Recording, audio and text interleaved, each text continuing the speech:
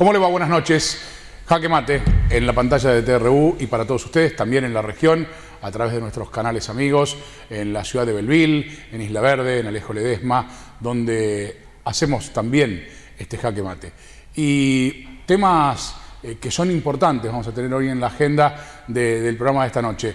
En el primer bloque ya está con nosotros y charlamos en un minuto eh, el, doctor, el doctor Joaquín Gómez Miralles, que es juez de control de la ciudad de Marco Juárez. Vamos a hablar un tema que se ha puesto en el tapete nacional, que va a tener seguramente discusión, pero que abre un debate eh, realmente muy grande en la sociedad, que es el proyecto que presentó el ministro Cunio Libarona para la baja de la edad de imputabilidad de los menores, es decir, llevarlo de 16 años a 13 años.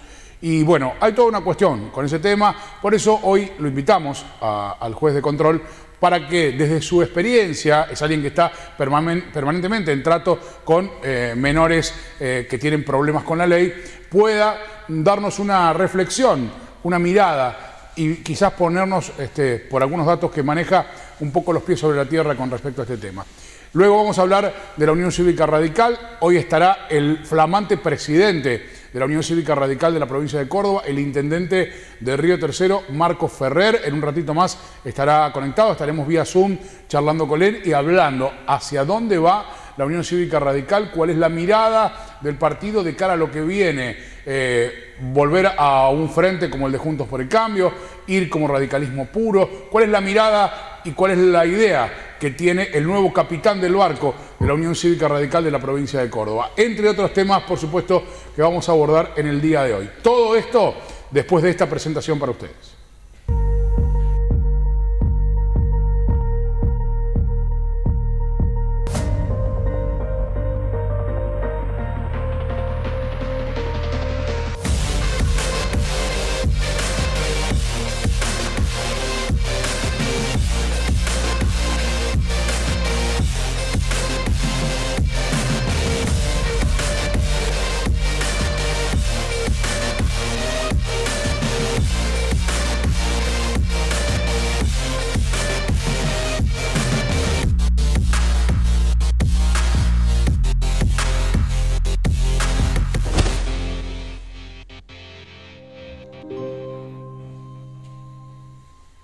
Como lo anticipábamos recién en la presentación, en la venta del programa, está con nosotros el juez de control, niñez y este, me, va, me va, me va penal juvenil. Y penal juvenil eh, de la ciudad de Marcos Juárez, el doctor Joaquín Gómez Miralles, que mm, debo decir y agradecer la presencia, es alguien que tiene una mirada muy amplia con respecto a nuestro trabajo y permanentemente es muy permeable a las invitaciones, a las entrevistas, y eso la verdad que acerca mucho eh, la justicia a su casa. Eh, quizás no es para satisfacción nuestra o, para que nosotros podamos este, sacarnos dudas, sino para que usted en su casa también pueda ver la cara de quienes toman decisiones a nivel justicia en nuestra ciudad. Así que gracias por, por estar, gracias por aceptar la invitación, doctor.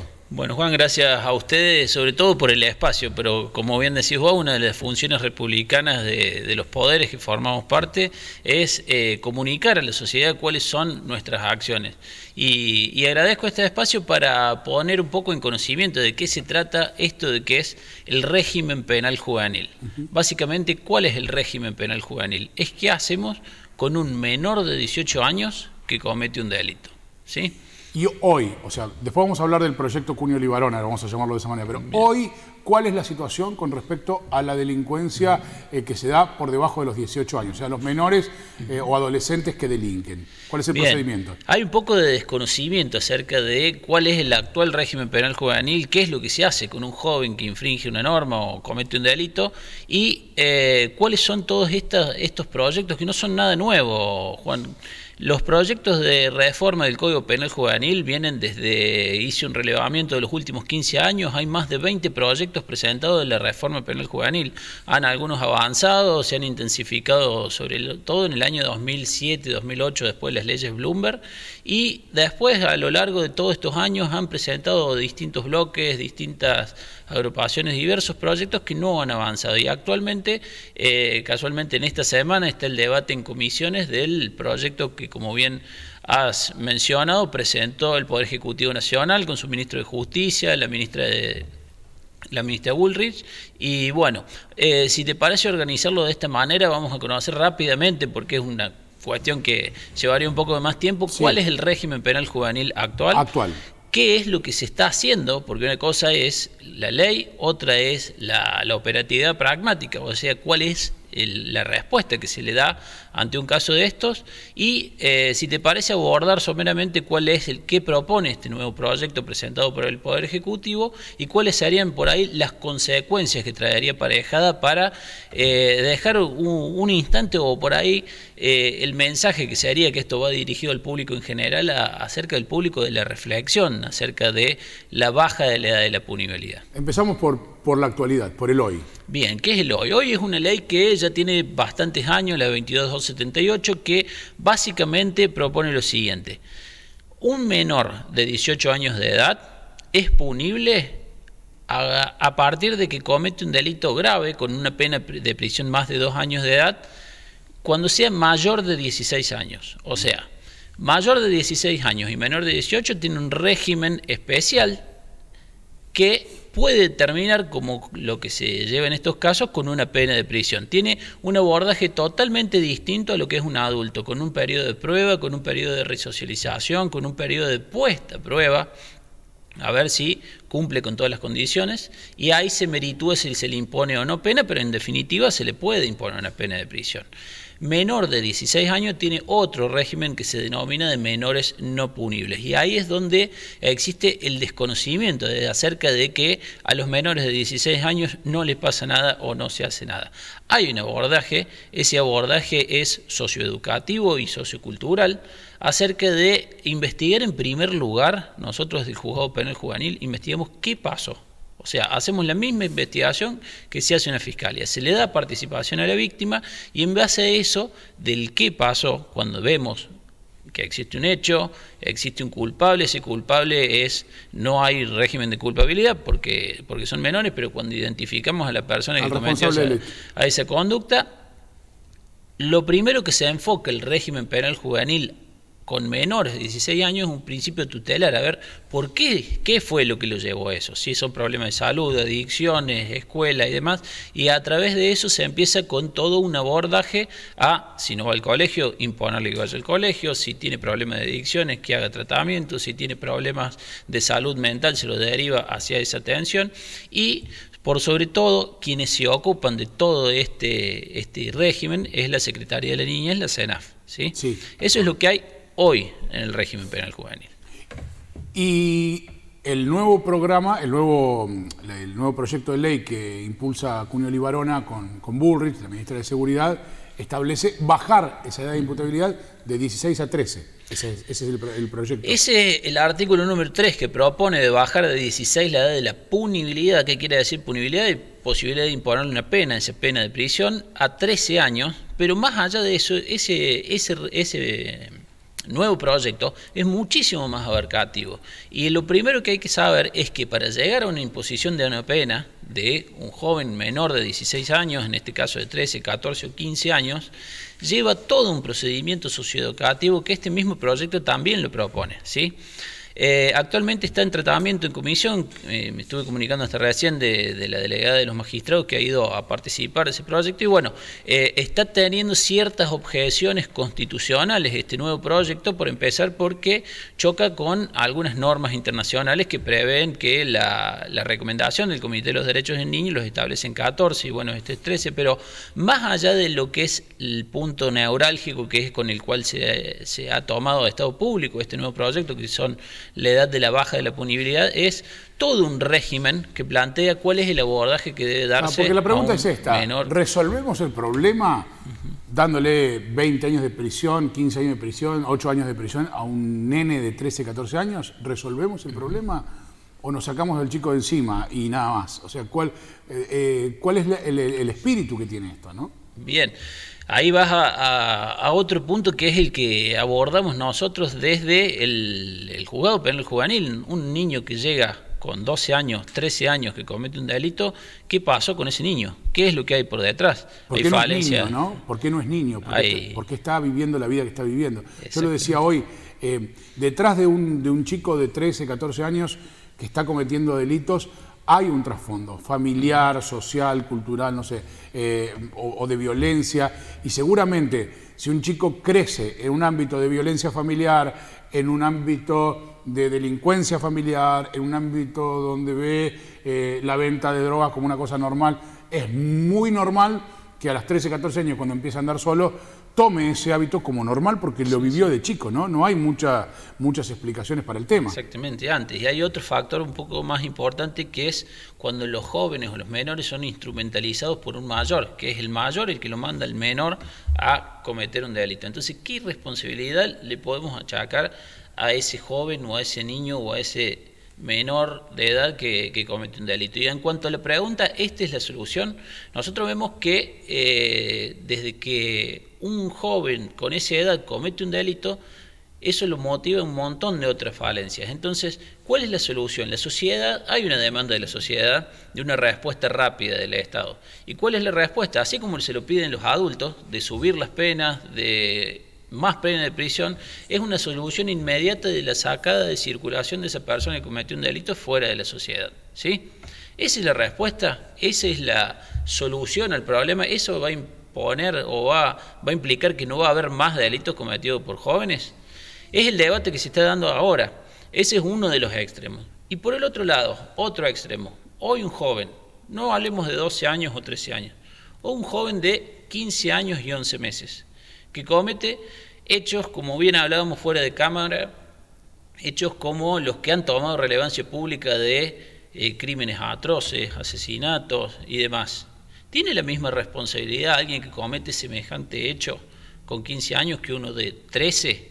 Entonces, eh, ese es el debate que debe darse la sociedad. La sociedad por ahí eh, tiene ese, ese reclamo acerca de una mayor respuesta y cada vez eh, a la violencia, solucionarla con violencia, con prisión, con penas fuertes, con cada vez más años de prisión.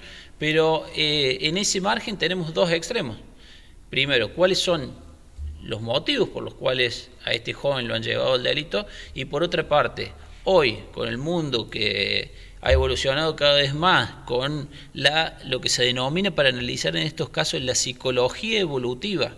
¿Cuál es la psicología evolutiva que tiene hoy un niño de 15 años a la que tenía un niño de 15 años hace 30 años?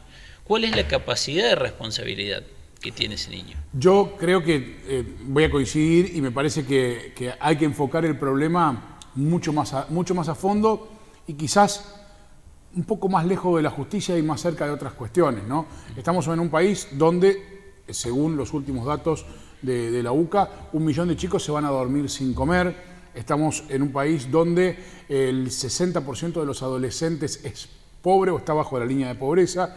Estamos en un país donde muchos chicos no tienen la oportunidad de poder ir a estudiar, no, no tienen la chance, saben que no la van a tener. Acaban de entregar las pruebas PISA 7 de cada 10 alumnos no aprueba los valores normales para un examen de matemática o de comprensión de texto. Digo, quizás no haya que buscar tanto por el lado de la justicia y empezar a ver socialmente qué nos ha pasado como país, ¿no? Seguro, totalmente. Si, eh, en definitiva, lo que se nos pide a nosotros y es el abordaje que terminamos realizando cuando ocurre un caso de esto, es una vulneración de derechos económicos, sociales y culturales. Son derechos que eh, son cuestiones de vulnerabilidad social, eh, falta de, cuestiones económicas, falta de educación. Entonces, lo primero que abordamos que es acerca de esto de justamente lo que, lo que vos decís, es que el abordaje para que no ocurran estos hechos se debe eh, llevar adelante un abordaje mucho, mucho más amplio y con anterioridad que suceda. Pero ¿qué pasa? Es mucho más difícil, es mucho más costoso, es mucho y, requiere un esfuerzo de parte no solo del Estado, sino de toda la sociedad. Y fundamentalmente lleva mucho tiempo. Y lleva porque no es de hoy para mañana. Cambiar ese paradigma que hoy está pasando en la Argentina no es algo que uno dice mañana, bueno, listo, mañana cuando nos levantemos no hay más pobres, mañana cuando nos levantemos todos los chicos van a la escuela. Digo, eso no pasa. Entonces, por ahí es más fácil tomar este tipo de medidas, que eh, lo más preocupante de esto es que la gente cree que esta va a ser la solución del problema. Y me parece que no solucionamos el problema con esto. Yo creo que no, que debe ser más abarcativo, pero más allá de eso, lo que yo rescato y es que lo que quiero que conozca la gente, que el proceso penal juvenil no es exactamente igual al de un adulto. Tiene que tener una mirada desde el punto de vista tutelar en donde se ve por qué ese joven llega a cometer un delito y hay que hacer un abordaje previo, y no porque lo hagamos nosotros con una mirada, sino que es lo que impone la ley y este proyecto de baja de ley de imputabilidad eh, propone exactamente lo mismo, un abordaje socioeducativo de ese joven para volver a reinsertarlo a la sociedad. Eso es lo que y las experiencias que tienen, Doc, eh, hacen que se, vean casos positivos de, eh, jóvenes que, han sido insertados nuevamente en la sociedad y que realmente arrancaron por el, digamos, por la buena senda, por decirlo de alguna manera. Sí, sí, totalmente. Eh, nosotros tenemos un abordaje. Con el estímulo adecuado eh, se, recupera ese El estímulo, el, seguimiento, el control y sí, se recupera. ¿El Estado tiene las herramientas para hacer eso? Las herramientas ¿Está presente el Estado para el seguimiento? A nosotros eh, nos faltan recursos humanos y como todo, el Estado eh, tiene falencias en la fase educativa, tiene falencias en la fase social y, y como toda rama del Estado nosotros no contamos con los recursos humanos ni con el tiempo y las herramientas suficientes, pero eh, acá, sobre todo en el área que me corresponde a mí, que es Marco Juárez y todo el departamento de Marco Juárez, tenemos mucha colaboración de parte de los municipios, de parte de las instituciones y por ahí eh, nosotros abordamos todos los casos que no son muchos. Otra de, las cuestiones que, que, por ahí es un mito de que la gran cantidad de delincuencia juvenil... Sí, le voy a pedir ese dato, recién me daba un dato en la, en la previa del, programa, me daba un dato que es eh, sorprendente, que es que no, la mayoría de los delitos no, lo, no, lo, no, son cometidos por menores, ¿no? No, no, claro que no. Eh, bueno, el dato que, comentaba es de las últimas, de, la Oficina de la Niñez del Tribunal Superior, las causas que están judicializadas de penal juvenil, que son los jóvenes que cometen delitos, en el año 2022 y 2023, representan solamente el 1% de los delitos cometidos en la provincia de Córdoba. Y a su vez, eh, dentro de ese 1%, o sea, el 0,1% de ese total son delitos graves de los que se, se denomina de, abuso sexual, eh, de, lesiones graves o de homicidios. O sea, la delincuencia penal juvenil no es eh, el factor principal de inseguridad dentro de la provincia de Córdoba, estoy hablando. ¿sí? sí, sí, está claro. Los datos que ustedes manejan es dentro de nuestro territorio porque ustedes trabajan dentro de nuestro territorio. Eh, nos, deja, nos deja el debate abierto, ¿no? Usted me dijo, es un tema para debatirlo. Pero bueno, eh, por ahí es más fácil pedir mano dura que a veces entender cómo aplicarla, ¿no? Porque una cosa es tener las herramientas, otra cosa es decir, bueno, ¿y cómo lo usamos? ¿Resolvemos el problema o no resolvemos el problema? Y si me das dos segundos más, explico en la práctica cómo es la situación. Nosotros tenemos, ahora se va, si se aprueba este proyecto de ley, que no sé cuál será la, el, desenlace que tenga. Perdón, eh, por primera vez lo presenta el oficialismo.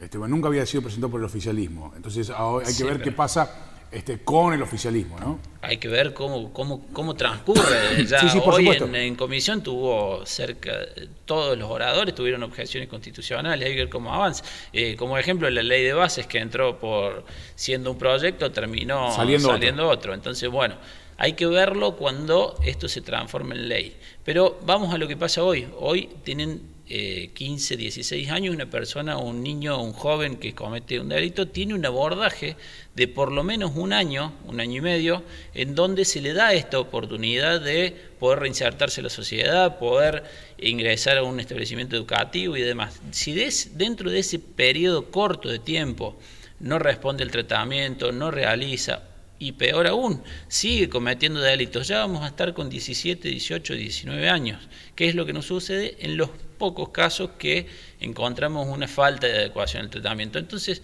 a ese joven se le dio esa oportunidad, no respondió y se le hace el juicio como ya mayor por haber cometido otros delitos de mayor. Claro, obviamente, sí, claro. Entonces, eso es la faz temporal del abordaje que no da tiempo, digamos, a que entre un régimen y el otro son escasos hoy menos de dos años, entonces ya se le aplica pena tanto de, por el hecho cometido de menor y el mayor. Y hay otros, como es en gran cantidad de los casos que tenemos, que no cometen nuevos hechos, se, se reinsertan, trabajan. Lo que le pedimos nosotros básicamente es que cumplan un fin para la sociedad, ¿sí? que trabajen, que estudien o que hagan algo útil para lo que eh, cualquier ciudadano espera.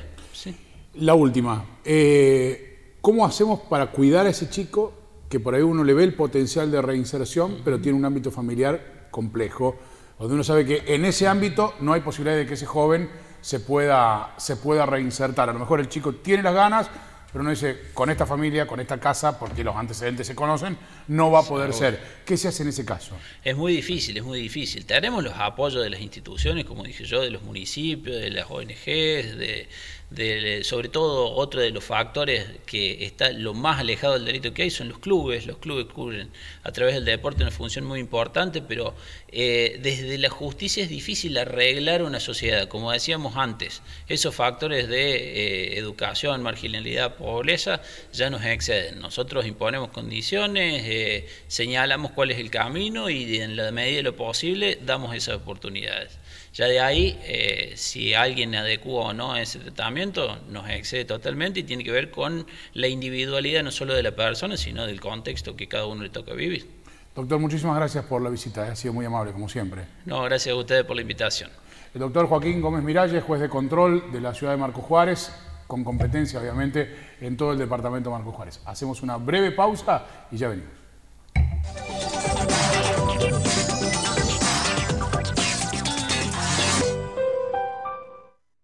El gobernador Martín Yayora anunció la compra de 150.000 vacunas contra el dengue. Las dosis estarán destinadas a la protección del personal sanitario del ámbito público y privado, así como a quienes hayan cursado la enfermedad con un cuadro grave requiriendo internación de más de 24 horas y cuya edad esté entre los 15 y 59 años. La iniciativa tiene como objetivo principal prevenir, controlar y mitigar futuros brotes de estas enfermedades en la provincia durante la temporada 2024-2025. Córdoba vuelve a mostrarse previsora, vamos a cuidar a los que nos cuidan, vamos a cuidar a nuestros vecinos, vamos a cuidar el sistema público y privado, porque para nosotros el sistema de salud es uno solo. Gobierno de Córdoba, con el esfuerzo de todos, seguimos haciendo. Gestión Martín Yayora.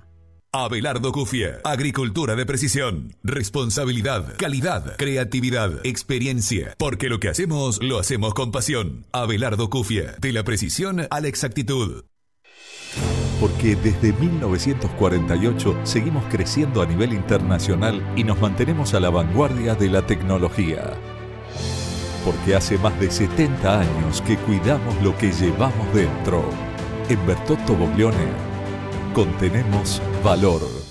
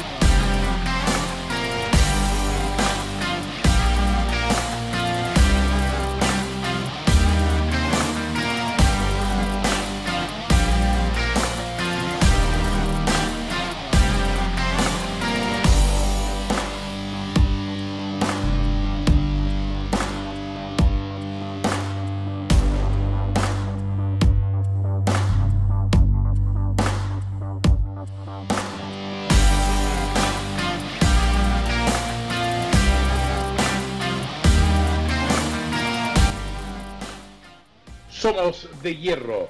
Somos Juan Navarro, Sociedad Anónima. En Marcos Juárez, Rivadavia 742. Teléfono de contacto 3472 53 1609.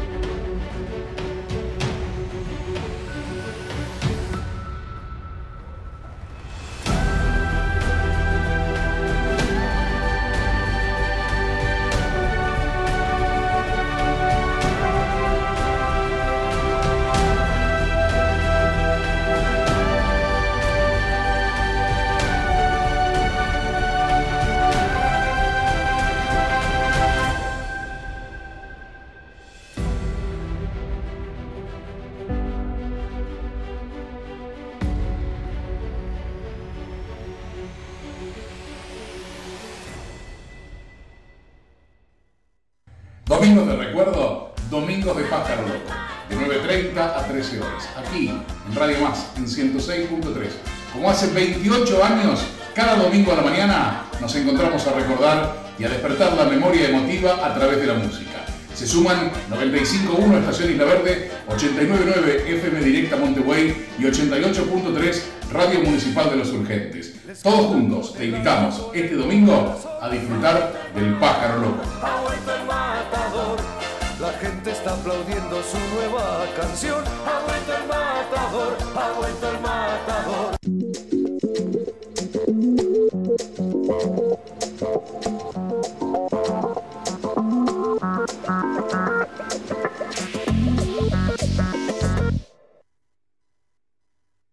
Muy bien, aquí estamos en este segundo bloque. Hoy hubo novedades en el Senado de la Nación.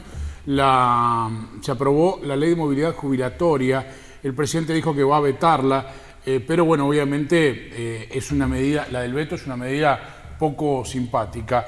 La Unión Cívica Radical, incluso el propio Luis Juez, que llamó la atención, eh, votó a favor de esta ley de movilidad jubilatoria, también lo hizo obviamente el arco peronista. No así eh, Carmen Álvarez Riveros, la compañera de fórmula de juez, no estuvo Alejandra Vigo, que no está, y tampoco estuvo Victoria Villarruel en el Senado de la Nación a la hora de la votación. Se retiró después de los discursos de cierre y sugestivamente no estuvo a la hora de la votación. Pero, bueno, con 61 votos a favor, el Senado de la Nación aprobó la nueva ley de movilidad jubilatoria. Reitero, el presidente ya había anunciado que la iba a vetar, así que habrá que esperar ahora el veto presidencial que obviamente lo pone a ley en una situación incómoda porque, claro, la del veto no es la más simpática de las decisiones. Eh, en un día de reveses para el, gobierno nacional, eh, lo de diputados ayer y lo de mm, el Senado hoy, así que eh, son días complicados para el gobierno de ley. Vamos a cambiar de tema y vamos a hablar de lo que tiene que ver con la Unión Cívica Radical en la provincia de Córdoba.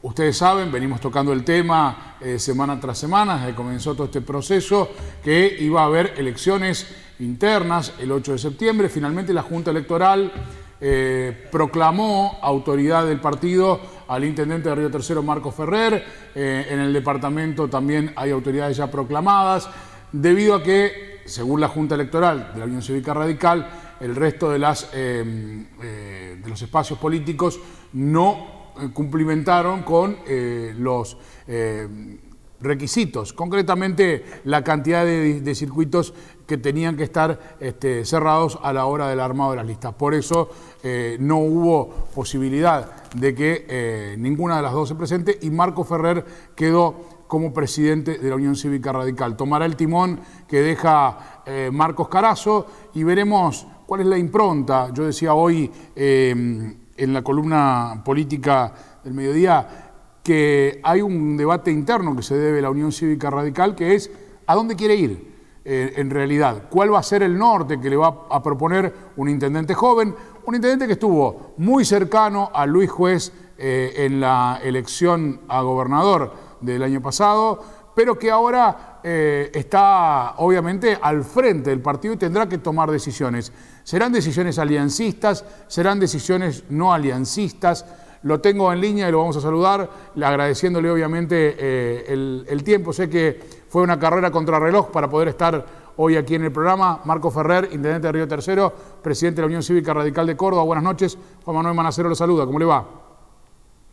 ¿Qué tal, Juan Manuel? Buenas noches, un gusto saludarte. Bueno, muchas gracias, gracias por estar. Eh, bueno, le decía yo recién, eh, es tiempo de tomar el timón de una Unión Cívica Radical que vive un tiempo importante, venía como, como, en picada, repuntó en la última elección y hoy por hoy hay un florecimiento del radicalismo en la provincia, con intendentes jóvenes, con nuevos dirigentes, eh, que pretenden una, eh, empoderar de alguna manera a la Unión Cívica Radical. Pero claro, el presidente es Ferrer ahora y habrá que ver cuál es la idea que tiene para su partido eh, este presidente. Marcos, cuéntenos. Bueno, primero hay que decir que la Junta Electoral ha resuelto que las otras listas no podían competir. La justicia ha ratificado hoy que una de esas listas no puede competir, efectivamente. Eh, igual la idea es lograr un acuerdo y llegar a la unidad y que de alguna manera eh, el radicalismo llegue unido a este proceso de nuevas autoridades. Eh, dicho esto, como bien vos decís, se vienen tiempos de, definiciones importantes, de nuevos roles, de nuevas caras fundamentalmente.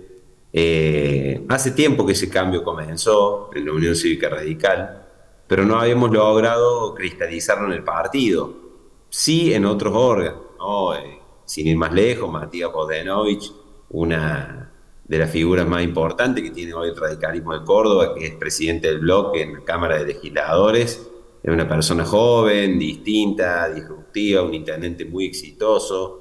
Eh, eso ya es una señal del cambio que se venía produciendo. Alejandra Ferrero, que es presidente del Interbloque, Rodrigo de Loredo, presidente del Bloque Nacional.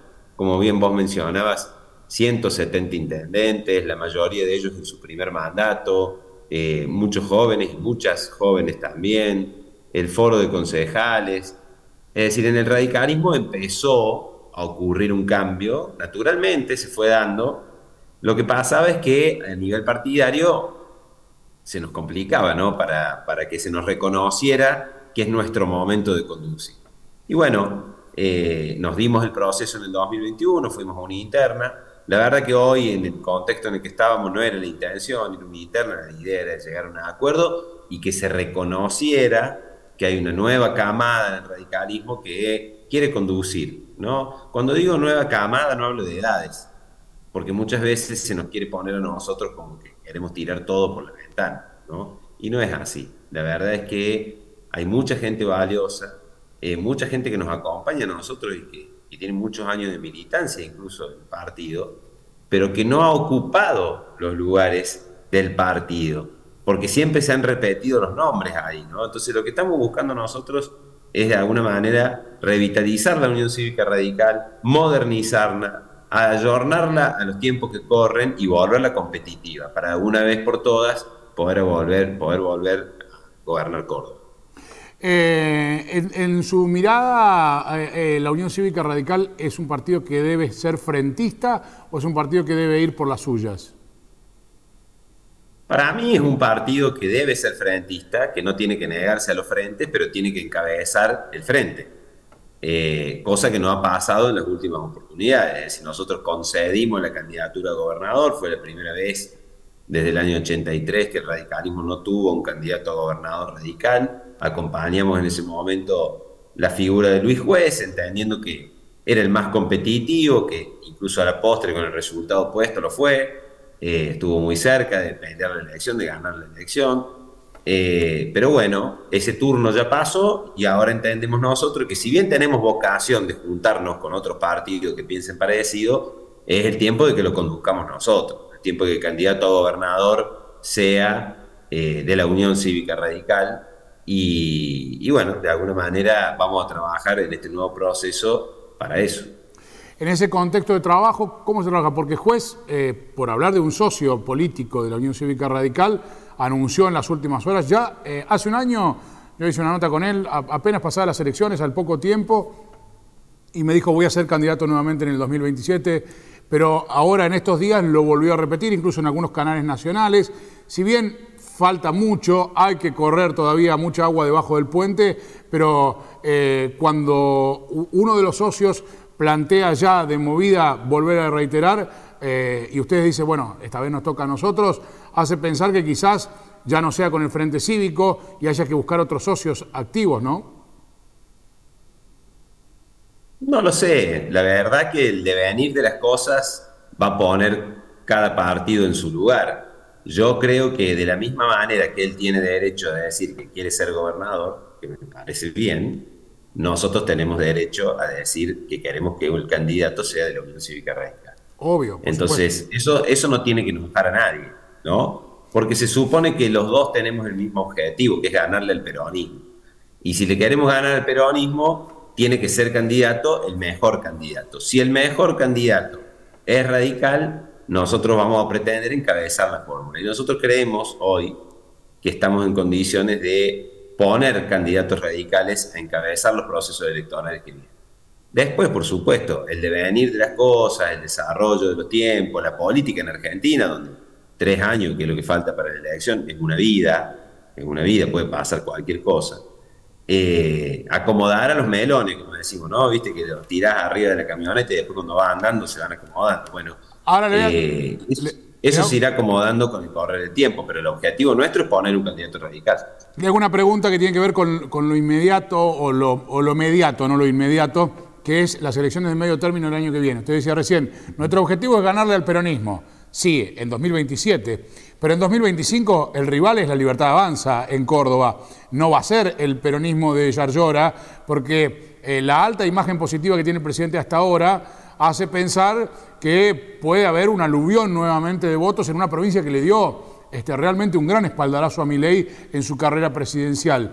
Por eso digo, eh, hoy enfrentado el presidente con, la Unión Cívica Radical, eh, los pone a ustedes como, eh, digamos, el, enemigo a vencer es la libertad avanza y no es el peronismo en la elección que viene. Vamos a ver, yo no me apresuraría tanto. Primero porque falta mucho para la elección. En agosto serían, entiendo, las pasos y en octubre la elección general. Hay que ver cómo le va al gobierno. El gobierno hasta ahora, si bien ha conseguido las herramientas que buscaba y en parte lo ha ayudado el radicalismo a que consiga, como la ley bases y, la vigencia todavía del DNU y algunas otras cuestiones que, que de alguna manera impactan en las decisiones que ellos tenían para con el gobierno, eh, lo cierto es que hay que esperar. Hay que esperar a ver cómo les va, hay que esperar si va a ser una aluvión de votos a favor o en contra, ¿no? En función de eh, cómo le vaya. La verdad es que nosotros deseamos que le vaya bien, porque si le va bien al gobierno nacional, nos va a estar yendo bien a todos, ¿no? Eh, pero hay que esperar, no hay que apresurarse, eh, ver cómo son las circunstancias de ese momento. Las elecciones hoy son muy, muy particulares, la gente vota de manera distinta según las circunstancias, así que yo no me apuraría. Yo creo que el trabajo que tenemos que hacer en el radicalismo hoy es hacer un radicalismo fuerte.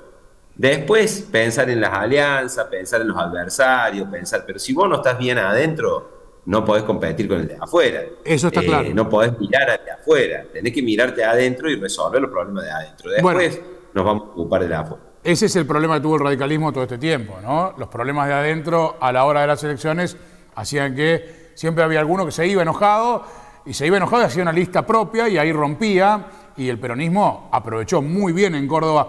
Yo a veces lo discuto con, con Bosdenovich, que usted mencionaba antes, Bosdenovich se enoja de los 25 años de peronismo. Digo, pero el radicalismo hizo mucho para que el peronismo esté en el gobierno durante tanto tiempo, porque durante mucho tiempo también las peleas internas le ganaron al objetivo final que era este, disputar la gobernación en igualdad de condiciones, ¿no?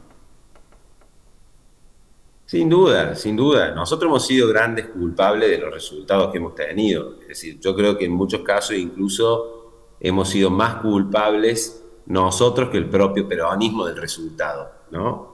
Eh, y ha habido oportunidades, muchas, para que nosotros podamos ganar una elección provincial. Pero bueno, errores propios, errores malintencionados, como vos decías, dirigentes que se van, eh, o que ven alguna beta y donde se pueden meter en algún lado, como hizo Prunoto, que, vio una escapadita y se metió en el partido este cordobés que le llaman ellos. Eh, también es cierto que cuando un partido no contiene y cuando no genera expectativa, es más frecuente que pasen estas cosas, con lo cual tenemos un enorme desafío, que es transformarnos en un partido competitivo que tenga una voz importante, que represente a las mayorías de los radicales y que genere expectativa electoralmente, porque si no genera expectativa nadie nos va a mirar. Bueno, es un desafío grande, no es fácil. Venimos de 24 años de, de derrotas consecutivas y, y obviamente eso va generando un desgaste, que es lo que tenemos que enfrentar ahora y tratar de resolver. Eh, me parece una mirada interesante. Lo, lo voy a liberar, pero le quiero hacer dos preguntas. Mencionó a Prunoto, eh, más allá de que cada uno tiene la decisión de, ubicarse políticamente donde cree que, lo, quieren, que lo atienden, que lo reciben bien, lo que sea, ¿cómo ven ustedes esta mm, intromisión eh, de, de Prunoto en, la interna? Porque si bien eh, había otros que ponían la cara, muchos sabían que el teléfono de algunos dirigentes del interior, cuando sonaba en el contacto decía Miriam Prunoto, ¿no? Eh, ¿Cómo, cómo lo toman ustedes a eso? La verdad que muy mal, y fundamentalmente como cordobés, porque es la vicegobernadora de la provincia de Córdoba. Decir, a mí me puede gustar más menos, ¿no? Pero no deja de ser la segunda autoridad de la provincia. Hay que tener en claro que si, si algo pasara con Yar no, no, para nada le deseo no, nada malo. Pero digo, si algo pasara, ella sería la autoridad máxima de la provincia, la segunda autoridad de la provincia. Entonces debería estar involucrada en los temas de los cordobeses, no en las internas partidarias. Acá la señora cobra un sueldo para hacerse cargo junto con el gobernador de un montón de problemas, entre los cuales está la seguridad, la salud, la educación y demás. Y hay problemas serios en Córdoba, no es joda esto. Entonces, la verdad que esté enfocando su energía y gastando tiempo del sueldo que le pagamos todos los cordobeses para meterse en una interna del radicalismo, partido del que ella se fue, me parece que no corresponde, ¿no? Me parece que no corresponde y además que esté gastando plata, cordobeses, para contratar radicales que los tienen como empleados en la legislatura o en algunos otros lugares, eh, me parece que no es el camino, que debería ocuparse realmente de lo importante que son los problemas de los ciudadanos que le han votado para que esté ahí. Eh, últimas dos, en serio. Me dijo que hay una de las dos listas que no va a poder competir y la otra sí. ¿Cuál es la que queda habilitada? ¿La de Mestre? No, hasta ahora en realidad se resolvió solo sobre la lista de, Polo Gay, que la dieron de baja. Eh, la lista que todavía no hay resolución es la de Mestre. O sea, no, es que eh, está habilitada, no hay resolución todavía de si puede o no puede participar. No está habilitada, sino que todavía la justicia no ha resuelto. Bien. Pero entiendo yo que en las próximas horas vamos a tratar de encaminar un acuerdo para presentar ante la justicia ya la unidad y terminar con todo Y termina con el tema. Lo último, eh, la relación con Lustó porque sé que hay algunos chispazos con algunos dirigentes del espacio, concretamente, para ponerle nombre y apellido, eh, con, De Loredo, sé que no están en, los mejores términos por estas horas, eh, si tiene que ser presidente de la Unión Cívica Radical, obviamente que el presidente de la Unión Cívica Radical de Córdoba y el presidente del partido a nivel nacional deberán tener algún diálogo. ¿Cuál es su mirada con respecto al tema?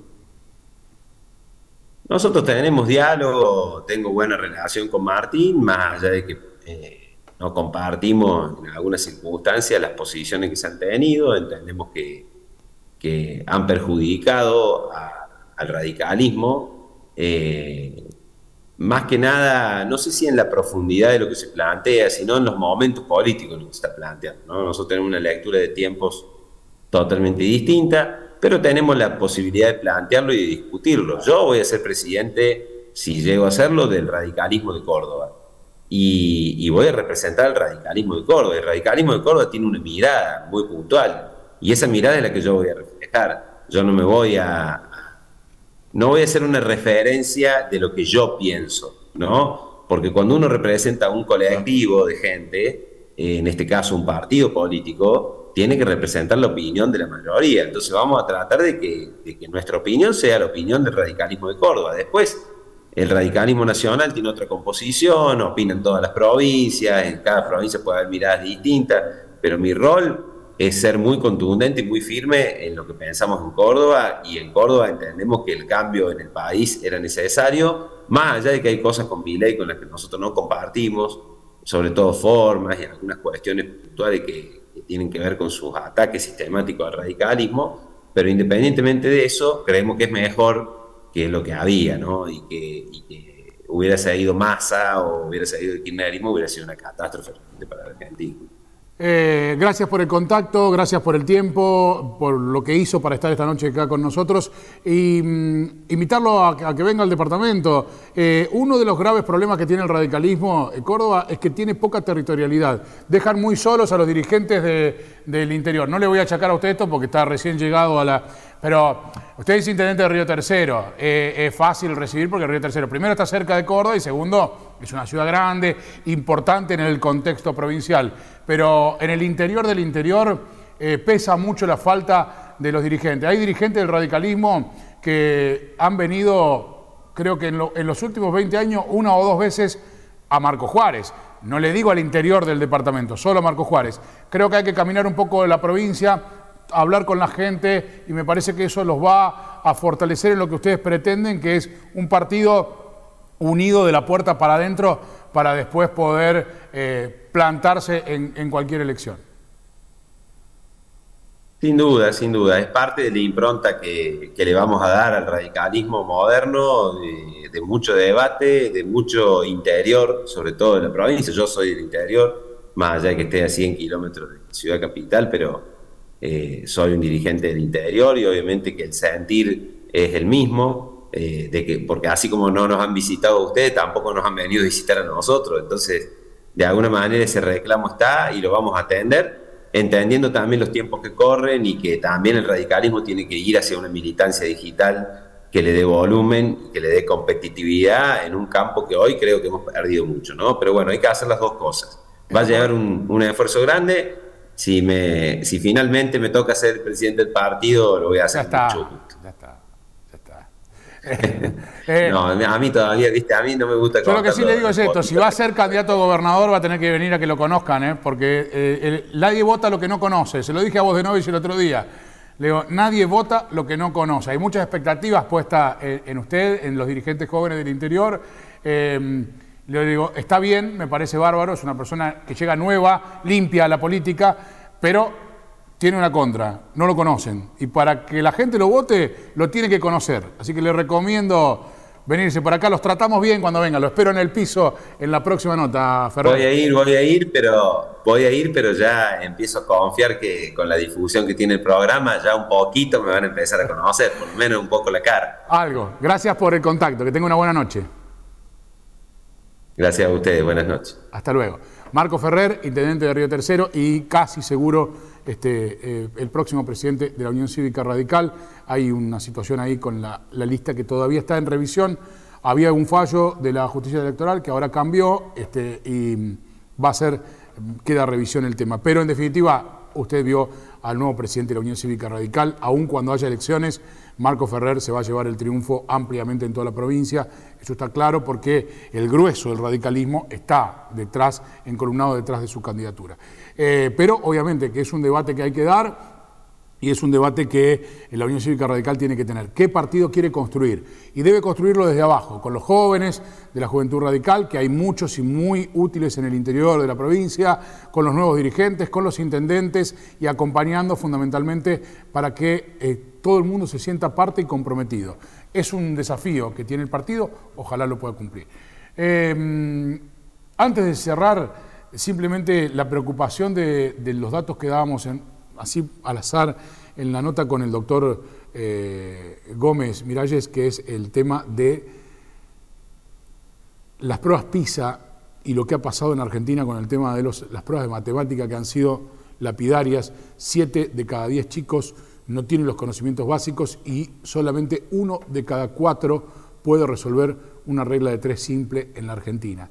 Esto habla a las claras del deterioro terrible, el daño terrible que se le ha hecho a la educación en los últimos años en este país. Todos, todos. En líneas generales, todos. No podemos culpar a unos o a otros porque nadie ha hecho absolutamente lo que había que hacer en materia de educación. Yo ya he dicho alguna vez y sigo sosteniendo que la educación es un tema de campaña y de jarabe de pico cuando están en campaña pero a la hora de gobernar la educación siempre pasa a segundo plano. Y la educación no solamente es arreglar las escuelas, no solamente es pagarle bien a los maestros. La educación también es analizar qué contenidos le vamos a enseñar a los niños, a los jóvenes, cómo se los vamos a enseñar, qué les vamos a, proponer para, como desafío para lo que viene. Lamentablemente eh, los niños están a merced de un plan educativo que es antiquísimo, eh, y que salvo algunas excepciones, como las escuelas PROA, que están ahora tratando de poner algún contenido diferente, el resto sigue anclado en la vieja educación, siguen viendo los chicos la, las mismas cosas que veíamos nosotros, que ya tenemos este, casi 50, y en algunos casos que veían nuestros padres, que tienen casi 70. Entonces, eh, ¿qué se puede pedir? A este sistema educativo. La educación no solamente es el sueldo de los docentes, que es una pata y que es muy importante. La educación no solamente es escuelas en condiciones, que es otra pata y que es importante. La educación es el contenido y la forma en la que se dan esos contenidos. Es la gran deuda que tiene la Argentina. No hay, no hay salida posible del 60% de pobreza si no es con educación. No hay plan de gobierno que pueda llevar adelante una transformación de la pobreza en riqueza si no es con educación. Este, el, mayor acto de defensa que uno puede tener es la educación, ¿no? este, eh, porque es la manera en la que uno se va a poder defender en la vida. Alguien con educación puede trascender, puede aprender, puede trabajar, puede ganar su dinero. Alguien sin educación está librado al azar en la vida y la sociedad es muy dura con los que están librados al azar en la vida. Hay poca empatía, casi nada, diría yo, en una sociedad que, por cierto, nos involucra a todos y es bastante hipócrita con respecto a la mirada que tenemos. Nos da lástima la pobreza, pero no hacemos mucho para, para ayudar al que está en, en un lugar de pobreza. Y entonces esa gente lo único que tiene como posibilidad es la educación. Tomás Bulat, ese famoso economista que murió hace unos años en un accidente, decía que el mayor acto de rebeldía que uno puede hacer este, con uno mismo es estudiar, es capacitarse. Y sí, definitivamente es lo que, lo que va a cambiar la ecuación en el sistema. De lo contrario, más menos ayudas, más menos bonos, el 60 va a bajar al 58, en el año que viene va a subir al 62, va a bajar al 57, va a subir al 65, pero vamos a estar ahí y no vamos a cambiar la ecuación. La ecuación la cambiamos si miramos a la educación como la tabla de salvación.